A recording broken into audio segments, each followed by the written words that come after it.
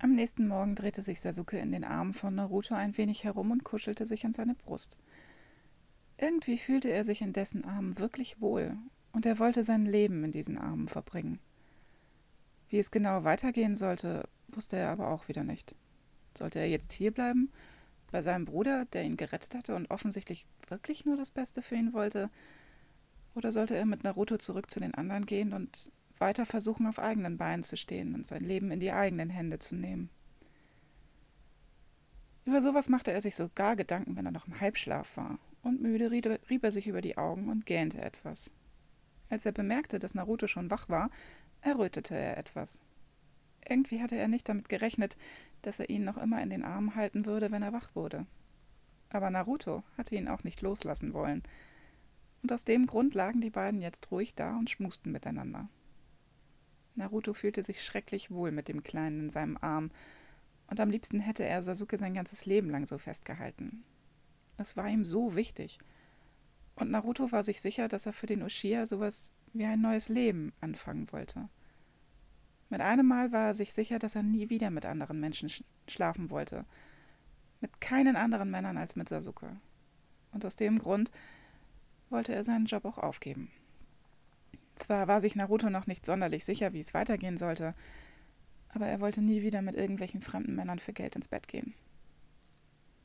Sasuke hatte sich ebenfalls über seine Zukunft Gedanken gemacht, und während er so dalag, seufzte er auf. Damals war er vor seinem Bruder weggelaufen, weil er sich bei ihm nicht mehr wohlgefühlt hatte. Aber jetzt war er sich wieder sicher, dass Itachi ihn doch irgendwie lieb hatte auch wenn er sich manchmal nicht so benahm. Irgendwie war das zwischen ihnen seltsam. Und Sasuke war sich nicht sicher, warum sein Bruder sich so komisch benahm, aber wichtig war doch eigentlich nur, dass er ihn irgendwie gern hatte. In den letzten Wochen hatte Sasuke immer mehr daran gezweifelt, und ihm war klar geworden, dass sie wohl wirklich mal mehr miteinander reden mussten. Leise seufzte er auf und kuschelte sich an Naruto heran. Hm. Du, Naruto, ich, ich hab nachgedacht, flüsterte er leise und Naruto sah ihn blinzelnd an. Es kostete Sasuke ein wenig Überwindung, aber dann nahm er sich ein Herz und brachte das über die Lippen, was er sich so überlegt hatte. Ich, ähm, ich möchte wieder nach Hause. Und ich möchte, dass du mitkommst, nuschelte er leise. Naruto blinzelte ein wenig und wusste nicht, was er sagen sollte. Aber dann schmunzelte er. Du willst also, dass ich mit dir hier einziehe? Bist du dir da sicher? Schnell nickte Sasuke und er drückte sich mehr an Narutos Brust. Natürlich bin ich mir da sicher. Mein Bruder hat dich um Hilfe gebeten, also muss er dich mögen, und ich glaube nicht, dass er was dagegen haben wird. Und ich möchte nicht mehr, dass du ständig auf der Straße stehst und deinen Körper verkaufst, murmelte er leise und seufzte dann auf. Ich, ich find's halt nicht schön, wenn du immer wieder mit irgendwelchen Männern ins Bett gehst und du weißt doch gar nicht, was die für Krankheiten haben und was dir da alles passieren könnte. Ein wenig musste Naruto schmunzeln. Er fand es niedlich, wie sich Sasuke Sorgen um ihn machte, und er hatte sich wirklich in ihn verliebt. Dass er da einfach so bei ihm einziehen konnte, war ja sowas wie ein Glückstreffer. Aber er hatte sich ebenfalls entschieden, ein vollkommen normales Leben führen zu wollen und erst einmal seine Schule zu beenden und dann eine Ausbildung anzufangen. Damals hatte er einfach alles abgebrochen und war von zu Hause abgehauen aber jetzt konnte er sich vielleicht endlich mal wieder auf das konzentrieren, was ihm wichtig war. Und wenn er dabei an Sasukes Seite bleiben konnte, hatte das alles sowieso positive Auswirkungen. Sanft schmuste er sich an Sasuke und lächelte dann sanft. Wenn du möchtest, werde ich bei dir bleiben. Aber wir sollten erst einmal deinen Bruder fragen, meinst du nicht? Ich weiß ja noch nicht, ob der davon so begeistert sein wird. Entschlossen krabbelte Sasuke aus dem Bett, so wie Gott ihn geschaffen hatte, und grinste. Na, ich werde ihn einfach fragen, meinst du nicht? Naruto musste leise lachen und räusperte sich ein wenig. Sanft packte er Sasuke an der Hüfte und zog ihn wieder zu sich ins Bett. Er drückte ihn in die Kissen und legte sich über ihn. Leise hauchte er ihm dann ins Ohr. Dann solltest du dir aber erst einmal was anziehen. Aber das kann doch jetzt auch noch ein bisschen warten, oder? Erst wusste Sasuke nicht, worauf Naruto hinaus wollte, aber als er dessen Hände auf seinem Körper spürte und Naruto an seinem Hals knabberte, musste Sasuke grinsen. Du kriegst wirklich nie genug, kann das sein? flüsterte er leise und Naruto kicherte. Von dir? Nie. Zwei Stunden später schaffte es Sasuke dann doch endlich mal aus dem Bett und unter die Dusche. Jetzt musste er sich nur noch etwas anziehen, was ebenfalls nicht sehr lange dauerte, und er sah Naruto nach, der dann erst einmal ebenfalls im Bad verschwand. Leise seufzte er auf, denn er wusste wirklich überhaupt nicht, wie sein Bruder wohl darauf reagieren würde, wenn er ihn bat, dass Naruto bei ihm einziehen sollte. Aber er wollte es auf jeden Fall versuchen. Und wenn Itachi Nein sagte, dann konnte er immer noch mit dem Blonden zurückgehen und bei ihm bleiben. Von Naruto würde ihm auf jeden Fall nichts und niemand mehr trennen. Da war sich Sasuke sehr sicher. Also nahm er sich ein Herz und klopfte bei Itachi an die Tür seines Büros. Kann ich reinkommen? nuschelte er leise und steckte den Kopf durch die Tür. Itachi saß wie immer hinter seinem Schreibtisch und sah blinzelnd hoch. Klar, komm rein, kleiner Bruder. So hatte Itachi ihn wirklich lange nicht mehr genannt, und Sasuke musste irgendwie lächeln. Seine Entführung hatte wohl bei beiden etwas ausgelöst, und darüber war er irgendwie richtig froh. Als er die Tür hinter sich schloss und es sich auf dem Sessel gegenüber von Itachi gemütlich gemacht hatte, ahnte der schon, worum es ging. Ich, ähm, also ich habe mich gefragt, ob es vielleicht für dich in Ordnung wäre, wenn, wenn Naruto hier einziehen würde. Meinst du, meinst du, das würde gehen? nuschelte Sasuke leise und fühlte sich gerade wie ein kleiner Junge, der jetzt darum bettelte, vor dem Essen noch ein Eis zu bekommen. Itachi hatte natürlich längst verstanden, was zwischen den beiden gelaufen war, und im Grunde ging es ihn überhaupt nichts an, mit wem sein kleiner Bruder sich vergnügte. Auf der anderen Seite war der Kerl bestimmt nicht der Umgang, mit dem er Sasuke sehen wollte. Jedenfalls hätte Itachi das gesagt, bevor er Naruto besser kennengelernt hatte. Jetzt wusste er, dass Naruto jemand war, auf den man sich verlassen konnte. Und aus dem Grund musste Itachi grinsen. Du möchtest wohl deinen Freund bei dir haben, was? meinte er und musste lachen, als Sasuke knallrot wurde. Du hast das mitbekommen? nuschelte er leise, und Itachi nickte. War ja schwer, das nicht zu bemerken. Aber lassen wir das mal außen vor. Das ist ja deine Sache. Von mir aus kann er hier einziehen, wenn er das möchte. Sasuke wusste überhaupt nicht, was er sagen sollte. Und aus dem Grund blinzelte er nur ein bisschen. Dann breitete sich auf seinen Lippen ein glückliches Lächeln aus und er fiel seinem Bruder um den Hals. Danke, Nisan, flüsterte er leise, und Itachi war glücklich, dass die Bindung zwischen ihnen endlich wieder besser geworden war. So wie es vorher war, so hat es ja auch nicht weitergehen können. Anscheinend hatte diese Entführung wirklich etwas für sich gehabt. So hatte er Sasuke endlich zeigen können, wie sehr er ihn liebte und wie wichtig sein kleiner Bruder ihm trotz allem gewesen war und noch immer war. Sanft drückte er den Kleinen an sich und Sasuke ließ sich auch eine Zeit lang dazu überreden, sich zu umarmen zu lassen, aber dann löste er sich von Itachi und strahlte regelrecht. Ich, ich werde mal hochgehen und Naruto davon erzählen.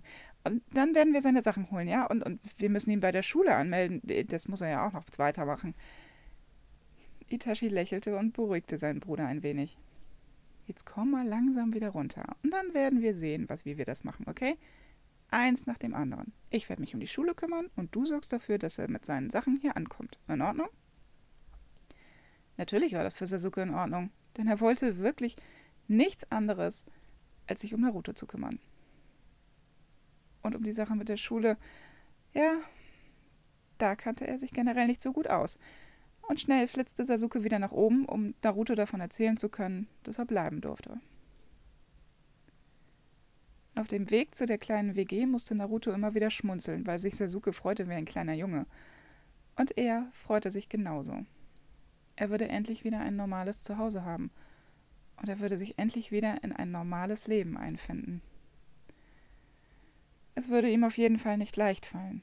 Da war er sich sicher. Schließlich war er vor seinen Eltern davongelaufen. Mit denen konnte er vielleicht irgendwann wieder Kontakt aufnehmen. Wenn die nämlich die Polizei eingeschaltet hatten, dann würden die ihn natürlich finden, sobald er sich an eine Schule anmeldete. Aber jetzt wusste er ja, dass er Sasuke an seiner Seite hatte und er wollte bei ihm bleiben, egal was für einen Preis er bezahlen musste. Seufzend öffnete er die Tür zu der WG und Sasuke sah ihn fragend an. Ich freue mich natürlich, mit zu dir ziehen zu können, aber ich war hier lange zu Hause, flüsterte Naruto leise, und Sasuke nickte etwas.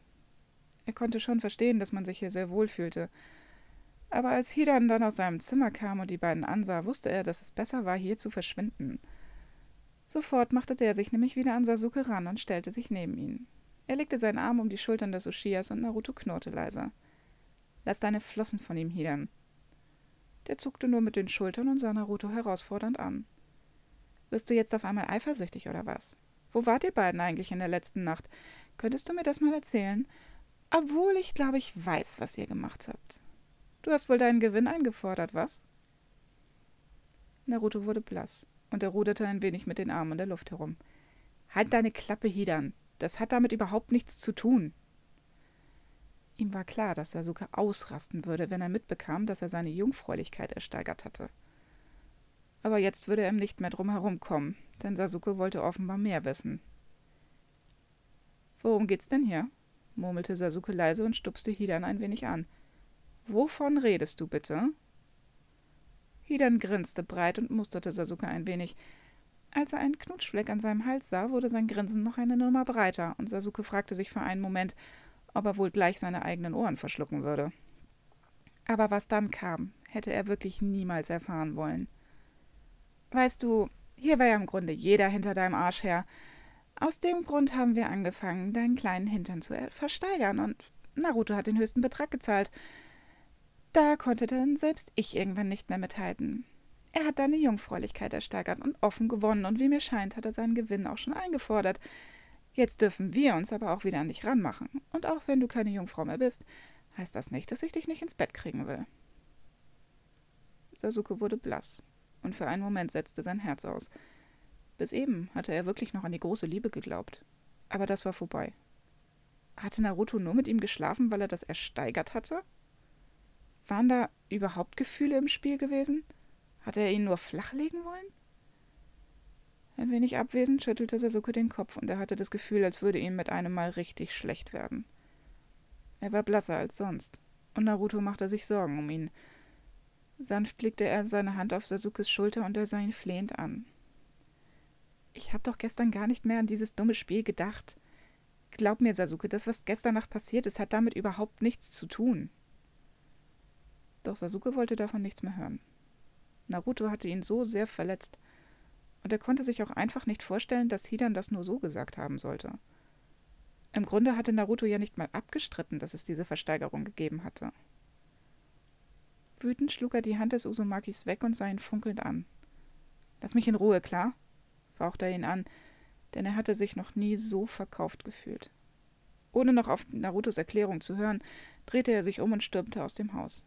Er wollte nur noch weg von Naruto, denn ihm war gerade schrecklich schlecht. Naruto sah ihm traurig nach und ließ die Schultern hängen. Dagegen grinste Hidan noch immer und verschränkte die Arme vor der Brust. Tja, da gab's wohl Ärger im Paradies, was? Hätte ich dir gleich sagen können, dass der Kleine nichts für dich ist. Naruto sah ihn wütend an. Was weißt du denn schon von Gefühlen? keifte er und nahm die Beine in die Hand, um hinter Sasuke herzukommen. So einfach würde er ihn nicht gehen lassen.